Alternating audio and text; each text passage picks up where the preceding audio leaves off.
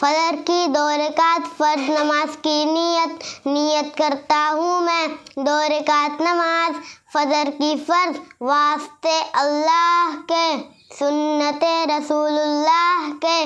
पीछे इस इमाम के, मुँह मेरा तरफ़ काबा शरीफ के। अल्लाह अकबर।